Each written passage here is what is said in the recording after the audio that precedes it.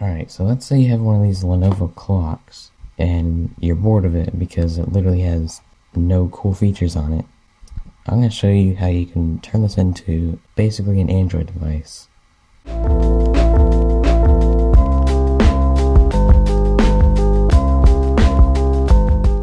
Now how are you going to do that? Well, you need a browser, obviously. And this does have a browser built in.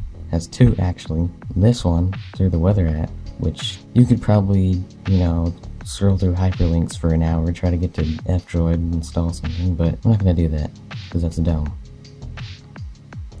We're going to go to settings on the home app, go to accessibility, we're going to turn on screen reader, and tap on the screen, draw an L shape, and then scroll through the contact context menus get to talkback settings. You can double click that. And we're going to turn talkback off. I'm going to scroll down to the bottom here until you see privacy policy. Click that. It's going to open another browser, which you know has a little bit more stuff in it. Now the issue is we don't have a keyboard, so we can't really do anything here. So what what I did is I created an event later today called keyboard, and what I need to do is copy that link from here and then paste it on here. So what we're gonna do is we're gonna say, uh, hey. Maybe it won't work right now because we're in the we're in this mode. So uh, so we're gonna go ahead and restart, which requires me to literally just unplug it because there's no reset button. I'm wait for that to restart.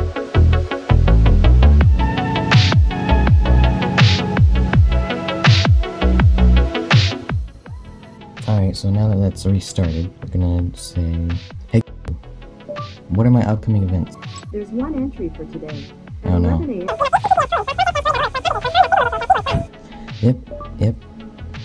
That's it. Anyways, we're gonna turn talkback back on. We're gonna click on this, draw the L shape, draw the L shape, copy it to clipboard, Draw the L shape again, and go to talkback settings, and we're gonna turn talkback off.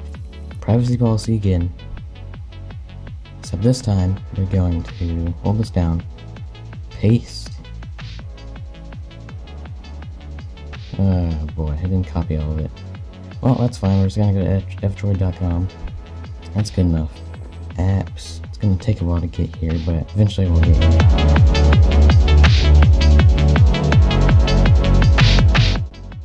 There we go. Simple keyboard. Alright, download APK. Alright. I go to settings. Unload from the source. Install. Open. A keyboard. And uh, yeah, my clipboard is uh, messed up. But yeah, as you can see, we have the keyboard now. Pretty much the only way to get out of this is to basically just restart again. Because, uh, well, maybe not. Oh, but yeah, it just goes back to the browser. So that's good. And hit apps. Since we can type now, we're gonna type.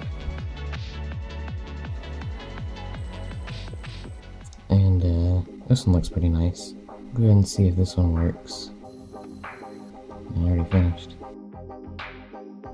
This is default.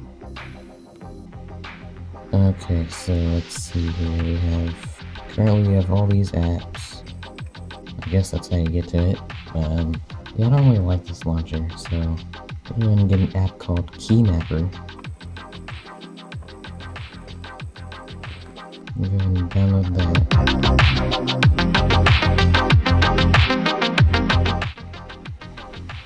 Okay, so it turns out I forgot to save it. So, um, double press volume up, it should go home. Yep, goes home. Let's just go to key mapper again. Create a new one. Hold trigger. One down.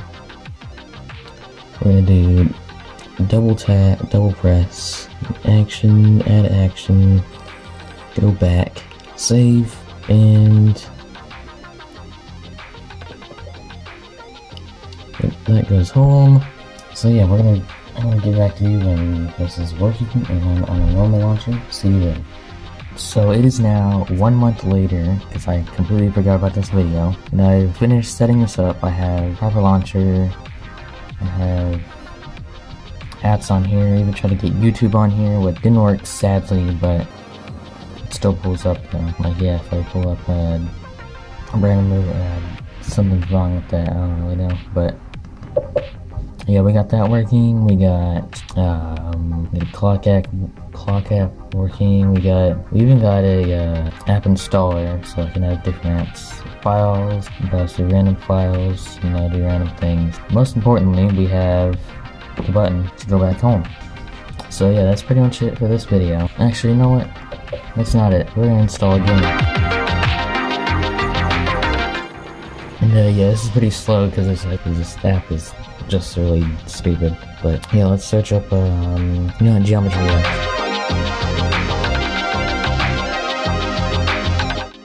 We're gonna go ahead and install that. Alright, there we go. Geometry Dash. Alright, let's see how bad this is. Wow, this is awful. The touch delay is, like, insane. Yeah, it's not that I'm bad at this game, it's just that the touch delay is so bad. Like, look at this. You can clearly see that I touched it, and it just didn't do anything.